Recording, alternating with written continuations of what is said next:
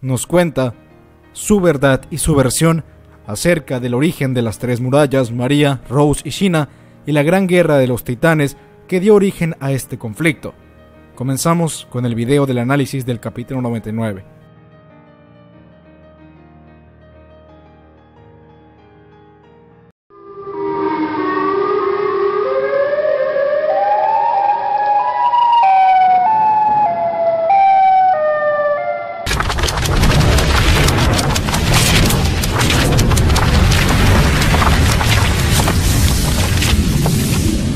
El origen como tal de todos los titanes y la materia orgánica de estos sigue siendo un absoluto misterio, así que nos quedamos con la misma versión acerca de que Emir Fritz hizo un trato con el demonio terrenal, o también entró en contacto con toda la materia orgánica y a partir de ahí se creó el titán fundador y de ahí surgieron ocho más, creando a los nueve titanes cambiantes. Los serdianos se ganaron el odio de todo el mundo porque durante su época de apogeo casi lo destruyen. Se contaba que la familia de los Tibur, quienes poseían al noveno poder titánico, el martillo de guerra, comenzaron la gran guerra de los titanes para derrocar al imperio de Erdia y colocar a Mare como la única potencia en el mundo. No sabíamos cuáles fueron las condiciones en las cuales ocurrió esta gran guerra de los titanes, y Willy Tibur nos cuenta por qué. Karl Fritz, el rey número 145, el que huyó con su gente después de heredar al titán fundador, fue el que acordó con la familia de los Tibur hacer un trato de paz y también hizo un trato transmemorial con su titán fundador, haciendo que únicamente sus descendientes puedan acceder a los poderes del titán fundador como la coordinación de los titanes. Karl Fritz y el líder de la familia Tibur acordaron que inventarían un mito, el mito de Eros, el héroe de Mare, el cual, según cuenta su leyenda hasta hoy día, eliminó al demonio de la tierra y trajo paz al mundo, colocando a Mare como la potencia mundial y marcando la pauta para que Erdia huya y se esconda en tres murallas María, Rose y Shina, ganándose el odio del mundo. Durante toda la serie de Shingeki no Kyojin, más en específico durante el arco de la insurrección, nos preguntábamos por qué. ¿Por qué nadie peleaba si tenía la habilidad de controlar a todos los titanes? ¿Por qué Frida Reis se escuchó de la boca de Grisha Jäger el titán colosal y blindado estaban llegando a los muros para matar a su gente, no quiso pelear. Ahora sabemos por qué. Ahora entendemos a Uri Reis, a Frida y al señor Reis. Ellos obedecían al pie de la letra el deseo de Karl Fritz, el cual era esperar a su inminente final, a su destrucción. El propio Uri Reis se lo menciona a Kenny. A este mundo no le falta mucho para ser destruido. Y es que según Karl Fritz, parte de su trato transmemorial serviría para que si algún día Mare tuviese la fuerza suficiente para eliminar a Erdia, lo aceptaría con gusto. Y es por esa razón que nadie peleaba. Y es por esa razón que ninguno de sus descendientes utilizó la coordinación titán. La raza de todos los serdianos, Ackerman y todos los que apoyaban al rey Fritz estuvieron condenadas desde el primer momento en el cual se fueron a las murallas únicamente esperaban su final a gusto. Ahora bien, una pregunta importante. Entonces, ¿por qué poner un rey falso como el rey Fritz que fue derrocado durante la insurrección? Bien, bien, esto es por si ocurría algo similar como lo que ocurrió con Grisha Jäger. Si los revolucionarios que no aceptaban que Erdia había sido eliminado para siempre, tuviesen un plan para adquirir ese poder, tal cual el plan del búho nocturno era en Kroger.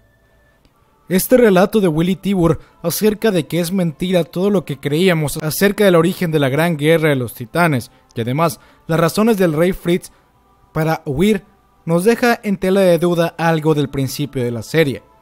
Recapitulemos.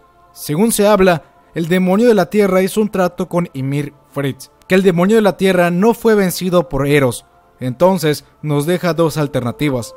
El demonio de la tierra existe y se hizo un trato con Ymir Fritz y sigue vivo.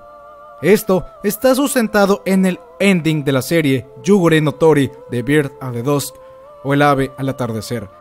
Podemos ver claramente algo que se asemeja al demonio de la tierra del relato de Mare, observando celosamente al rey Fritz y a quienes parecen ser María, Rose y Shina. Y si comparamos a este señor de edad con Carl Fritz ilustración que aparece en el manga 99, comparten muchos parecidos. Es interesante considerar que el demonio de la Tierra huyó con Karl Fritz y sigue vivo.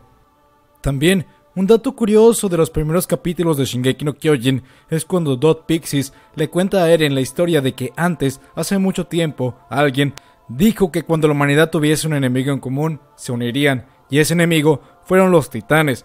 ¿Quién pensaría que esa persona fue nada más y nada menos que Karl Fritz?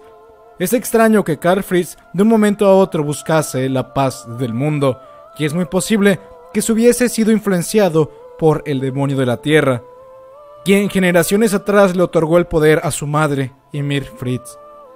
El relato de Dog Pixies calza perfectamente con el relato de Willy Tibur, ya que él menciona que cuando Erdia ya no tuvo más enemigos para aplastar, comenzaron a matarse entre sí, entre las diferentes razas y clanes del imperio de Erdia. Esto suena casi calcado de lo que dice Pixies acerca de que la humanidad se peleaba por religiones, razas y etnias. Entonces, es interesante pensar que el demonio de la tierra influenció al rey Fritz a terminar con esas batallas sangrientas. Pero también está la opción latente de que todo lo que sabemos sea mentira. Creo que hablo por la mayoría de los seguidores de Shingeki no Kyojin cuando nos referimos al origen titánico.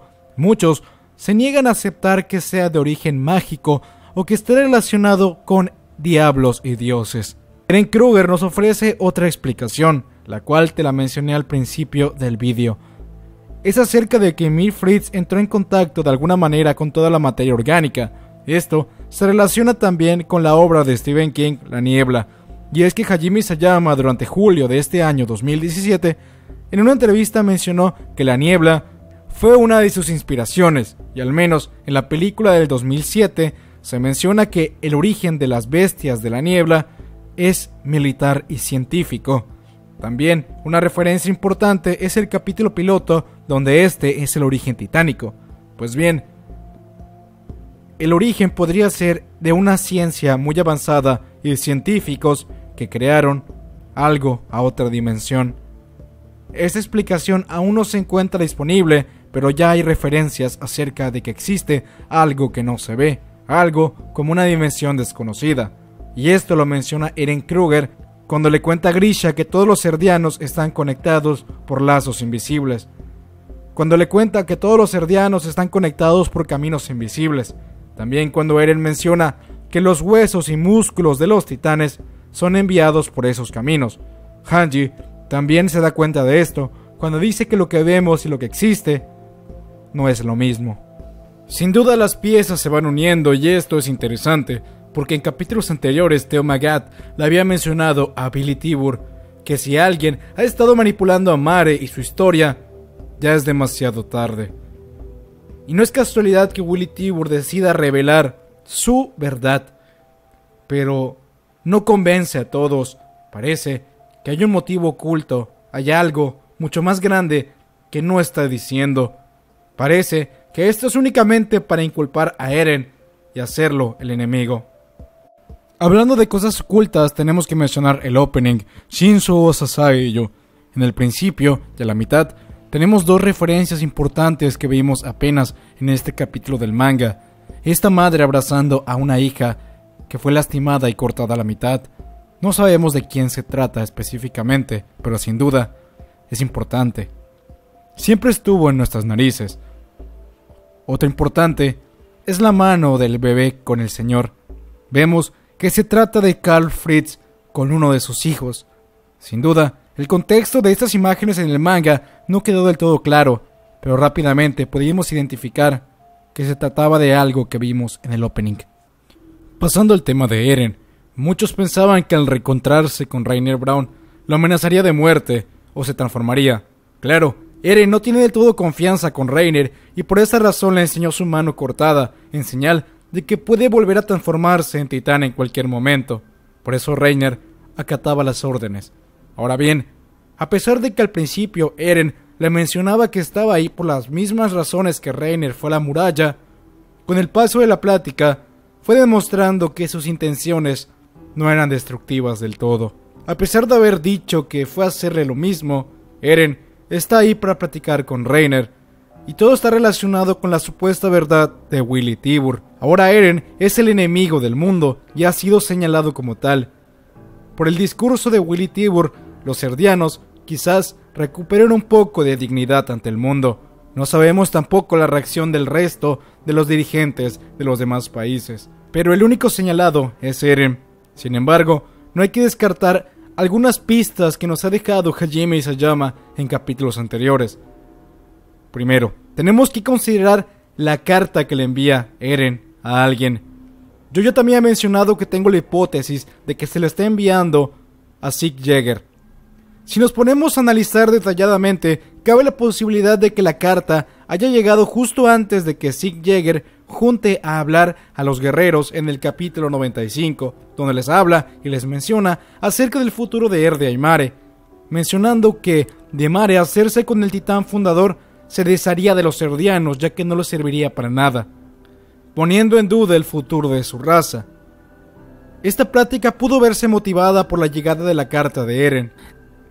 La opción más viable que la opción más viable es que esa carta le haya llegado al jefe de guerra Sig Jäger, a su medio hermano. Pero ¿por qué a él específicamente? Aunque este será tema de otro video, un soldado misterioso recluta a Porco Galeard y a Pig, y Sig Jäger les dice que vayan.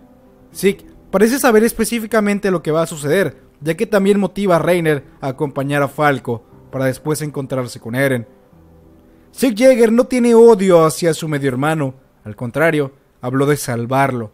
Entonces, es muy posible que ambos hermanos estén juntos en alguna especie de plan. Un plan que puede verse interrumpido por el Festival Rojo, el Festival Rojo es una referencia a Game of Thrones o Juego de Tronos, en el cual se menciona que es muy posible que Willy Tibur vaya a exponer a todos los serdianos y más en específico a sus titanes cambiantes que se encuentran ahí, haciéndolos objeto de ataque o poniéndolos en un riesgo inminente. Por esta razón Zeke permitió que se dispersen y los protegió, o al menos es la impresión que se tiene que están ante un peligro inminente al estar todos los dirigentes del mundo y los altos mandos del partido de Mare. Sin duda la figura de Willy Tibur genera muchas dudas y nada de confianza, menos con los demás de su raza, menos con los demás serdianos. Como ya te había mencionado antes, el hecho de revelar la verdad así como así parece tener una intención oculta, una intención obscura y malvada.